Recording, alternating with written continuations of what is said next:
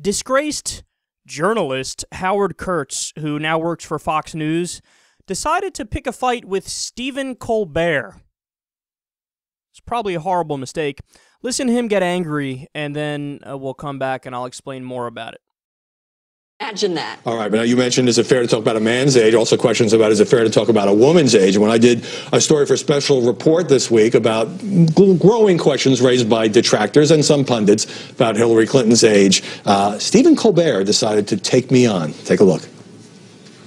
Fox News has just uncovered a bombshell of a lifetime. Howard Kurtz looks at the controversial question of how old is too old. The age question is growing louder than just a whisper, raised by former candidate and now Fox News host Mike Huckabee. Look, she's going to be at an age where it's going to be a challenge for her. If Hillary Clinton is the Democratic candidate for president, she'll turn 69 just before the election. That's right. Fox News is ready to project that in the 2016 presidential election, Hillary Clinton will be two years older. I mean, 69, that is old.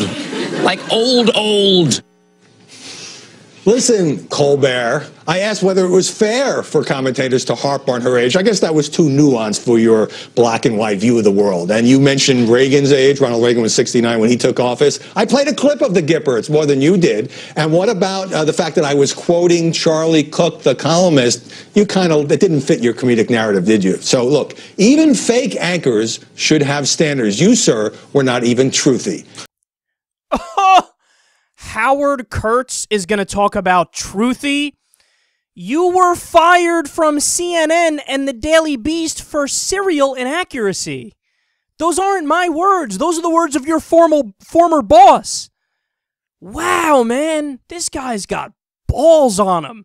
And who picks a fight with a comedian? He's a comedian, dude. And the sad thing is, you actually get better news from listening to Jon Stewart or listening to Stephen Colbert than if you listen to Fox News. I'm always reminded of that poll, which is incredible, that Fox News viewers are actually less informed than people who watch no news. Isn't that incredible? It shows you how much they're into propaganda and how much they're just pushing their agenda and they disregard the facts and the information. But did you notice what he did there? It's the oldest trick in the book, man, and it's sad that he actually I could tell by how he did that that he actually thinks he's uh, actually doing journalism. Even though uh, Howard Kurtz is the most notorious for doing false equivalence. He's always 50% on this side, 50% on that side. Everybody's equally right and equally wrong because neutrality is is correct. No, neutrality is not objectivity. Objectivity means calling it like it is no matter where it, the truth falls in the partisan divide. And he doesn't do that. He just he's just concerned with neutrality. But he he said Oh, when I did that segment questioning Hillary Clinton's age, didn't you realize I was just asking questions? Yes, Howard, that's the point. We understand that. That's the oldest Fox News trick in the book. If you present it as a question, then you get to pawn off responsibility for how ridiculous the segment is.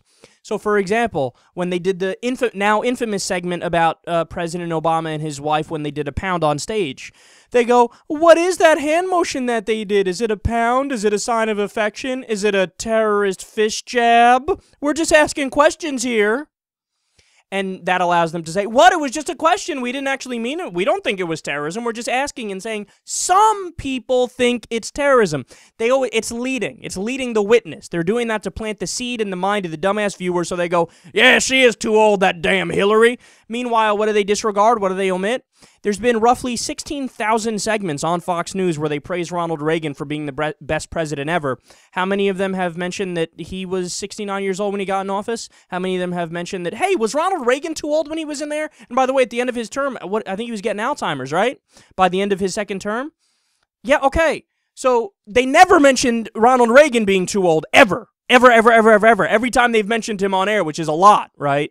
And they also never mentioned, for fuck's sake, John McCain just ran in 2008 and you guys filleted him 24 7 and overtly campaigned for him and not President Obama. Nobody ever mentioned that maybe John McCain is too old. But see, that's the thing. It's you're clearly viewing it through partisan glasses and you're trying to do little tricks but plant seeds by saying, "Oh, is she too old? I don't know." Again, we're just we're just, uh, you know, presenting both sides here and some people think she's too old. Yeah, one idiot who's also on your payroll who you paid to say that, now you're going to pontificate about it for a week because you're trying to make all your viewers go, "Yeah, she's too old."